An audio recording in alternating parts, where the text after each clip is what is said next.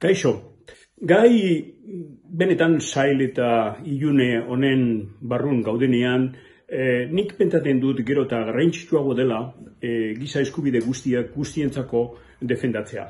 Eta hori e, lortzeko nik uste dut e, zareri e, eman behar dugula laguntza. Denon laguntza. Behar du, helburu hori aurrera ateratzeko. Vivimos eh, tiempos oscuros, complicados, tiempos en los que eh, se hace más importante que nunca eh, defender todos los derechos humanos para todas las personas. Eso es precisamente lo que pretende SARE y esa es la razón por la que todos debemos echar una mano, debemos ayudar a conseguir estos objetivos. Ahora.